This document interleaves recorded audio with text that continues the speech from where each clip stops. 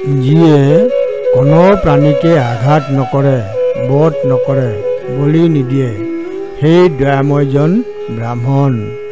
ধৰ্মপদ চাৰিশ পাঁচ। মানুহে মানুহতকৈ দুৰ্বল প্ৰাণীক অতি সহজে বধ কৰে। মানুহে মানুহতকৈ দুৰ্বল প্ৰাণীক অতি সহজে বধ কৰে। কিন্তু মানুহতকৈ বিশাল বলৱান হিংস্ৰ প্ৰাণীবোৰক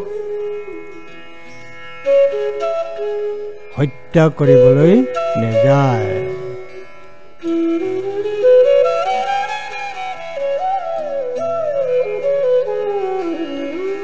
জ্ঞানীসকলে দুৰ্বল প্ৰাণীবোৰক মৰম কৰে দয়া কৰে। কৰোণা কৰে। জ্ঞানীসকলে দুৰ্বল প্ৰাণীবোৰক মৰম কৰে দয়া কৰে কৰোণা কৰে। নিজক প্ৰহাৰ কৰিলে যেনে দুখ লাগে আনকো প্ৰহাৰ কৰিলে সি সিমানেই দুখ পায়।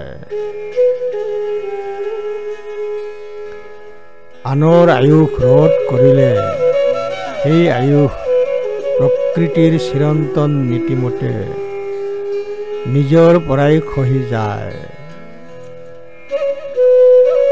আনৰ আয়ুস ৰোধ কৰিলে সেই আয়ুস প্ৰকৃতিৰ চিৰন্তন নীতিমতে নিজৰ পৰাই খহি যায়।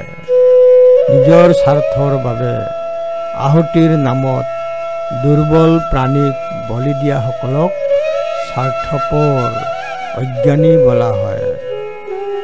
নিজৰ স্বাৰ্থৰ বাবে আহুতিৰ নামত দুৰ্বল প্ৰাণীক বলি দিয়াসকলক স্বাৰ্থপৰ অজ্ঞানী বোলা হয়। যিয়ে কেতিয়াও যিকোনো কাৰণতেই নহওক কিয় কোনো প্ৰাণী প্ৰহাৰ নকৰে বা হত্যা নকৰে তেনে দয়াময় জ্ঞানীসকলক মই ব্ৰাহ্মণ বুলি কওঁ জ্ঞানী বুলি কওঁ বুদ্ধ।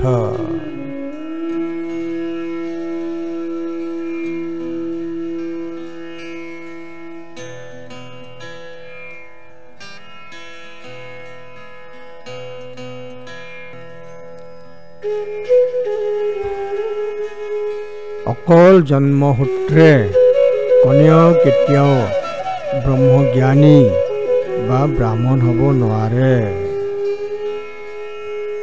নিধায় দণ্ডং ভূতেষু তচেষু থাৱৰেষু চ। ন হন্তি ন ঘাটেতি তমহং ব্ৰহ্মী ব্ৰাহ্মণং। ধৰ্মপদ চাৰিশ পাঁচ।